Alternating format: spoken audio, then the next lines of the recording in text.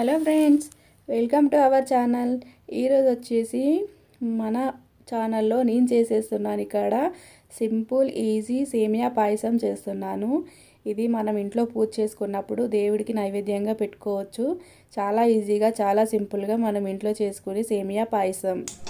ఇక్కడ వచ్చేసి నేను ఒక చిన్న కడాయి పెట్టుకున్నాను. ఈ కడాయి మనకి కొద్దిగా హీట్ అయిన తర్వాత ఇందులో మనం కొద్దిగా నెయ్యి వేసుకోవాలి. ఒక రెండు టేబుల్ స్పూన్లు అట్లా నెయ్యి వేసుకోవాలి. తర్వాత వచ్చేసి ఇక్కడ కిస్మిస్ కాజు వేసి వేయించుకోవాలి ఇవి కొద్దిగా.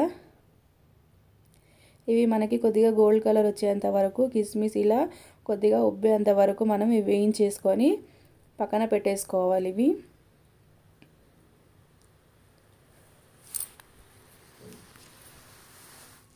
ఇప్పుడు వచ్చేసి అదే నెయ్యిలో మనము సేమియా వేసుకోవాలి. ఈ సేమియా వేసి మనమంతా మనం వేయించుకోవాలి. ఈ సేమియా కూడా సిమ్లో పెట్టేసుకొని మనం ఈ సేమియా మొత్తం అంతా వేయించుకోవాలి. ఇలా వేయించుకున్న తర్వాత ఇది మనం ఒక ప్లేట్లోకి తీసుకోవాలి సేమియా మొత్తాన్ని. తర్వాత వచ్చేసి తర్వాత వచ్చేసి మనం ఇక్కడ ఒక గిన్నె పెట్టేసుకోవాలి. ఇందులో మనం పాలు వేసుకోవాలి. పాలు వేసుకున్న తర్వాత ఇందులో మనం షుగర్ వేసుకోవాలి. స్వీట్ ఎక్కువ తినే వాళ్ళైతే షుగర్ ఎక్కువ వేసుకోండి తక్కువ తినే వాళ్ళైతే తక్కువ వేసుకోండి. ఇక్కడ నేను నార్మల్గా వేశాను. ఇలా మనకు పాలు పొంగుతున్నప్పుడు మంట సిమ్లో పెట్టేసుకోవాలి. ఈ పాలు అనేవి మనకి కొద్దిగా మనం మరిగించుకోవాలి. ఒక టూ త్రీ మినిట్స్ అట్లా మరిగించుకోవాలి. ఇలా మరిగించుకున్న తర్వాత ఇప్పుడు ఇందులో మనం ఇందాక వేయించి పెట్టిన సేమియా ఇందులో వేసేసుకోవాలి. ఈ సేమియా మొత్తం ఈ పాలలో మనం వేసేసుకోవాలి.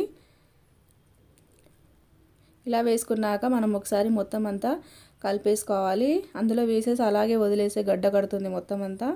అందుకని చెప్పేసి ఇందులో వేసేసుకోగానే మనం కలిపేసుకోవాలి సేమియా వేసుకోగానే.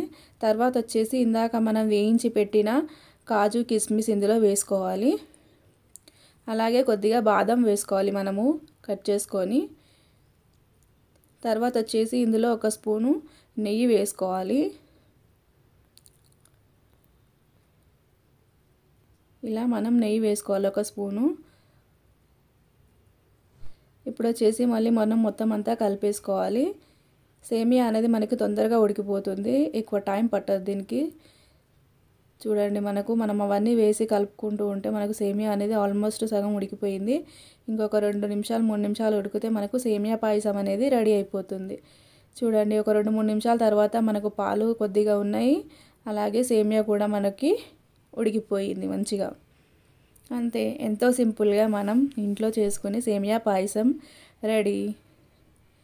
ఇలా చేసుకొని మనం ఎప్పుడైనా పిల్లలకి పెడితే చాలా ఇష్టంగా తింటారు. చాలా స్వీట్గా ఉంటుంది చాలా బాగుంటుంది. ఒకసారి మీరు కూడా మీ ఇంట్లో ట్రై చేసి మీ పిల్లలకి పెట్టి చూడండి.